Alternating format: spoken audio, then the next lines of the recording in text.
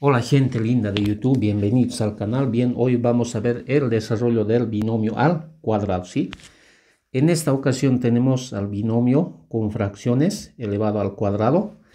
Bien, las operaciones que se realizan es la misma que a un binomio entero, ¿sí? Entonces, obviamente se toma en cuenta a los denominadores. Entonces vamos a recordar nuestro formato que decía así, ¿no? A más B eso elevado al cuadrado era igual a el primer término al cuadrado, o sea, a al cuadrado más dos veces, ya, dos veces multiplicado a por b, a por b, más el último término elevado al cuadrado, o sea, b al cuadrado, ¿sí? Entonces, el resultado de este binomio tiene tres términos, ¿sí?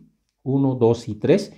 Además, cuando el binomio tiene signo positivo, todos los resultados del binomio son positivos. ¿sí? Entonces, es muy necesario que sepas en la mente ¿no? para que puedas aplicar correctamente. ¿sí?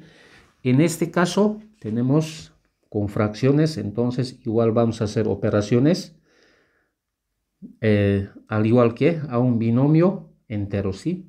En esta ocasión no tenemos A, pero esta parte de acá equivale a y toda esta parte equivale a b, ¿sí? Bien, entonces vamos a hacer las operaciones. En este caso, para hacer las operaciones se toma en cuenta todo el, la fracción, ¿no? Entonces acá vamos a tener un medio por x elevado al cuadrado, ¿no?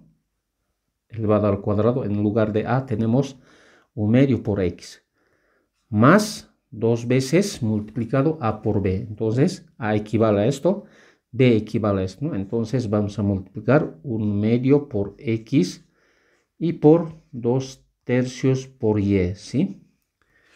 Por último, tenemos b al cuadrado que representa dos tercios por y, ¿no? Entonces, dos tercios y eso elevado al cuadrado. Entonces ya tenemos parte del desarrollo del binomio con fracciones. Entonces lo único que vamos a ahora es hacer las operaciones que corresponden. ¿sí? Vamos a acá elevar al cuadrado. 1 elevado al cuadrado es 1 toda la vida, ¿no? 2 al cuadrado es 4. X al cuadrado, X al cuadrado. Más, acá simplemente podemos hacer las multiplicaciones directas. 2 por 1, 2. Ya tenemos 2 hasta aquí, 2 por 2, 4. 4 abajo, 2 por 3, 6. Acompañado de y más, acá podemos hacer las operaciones.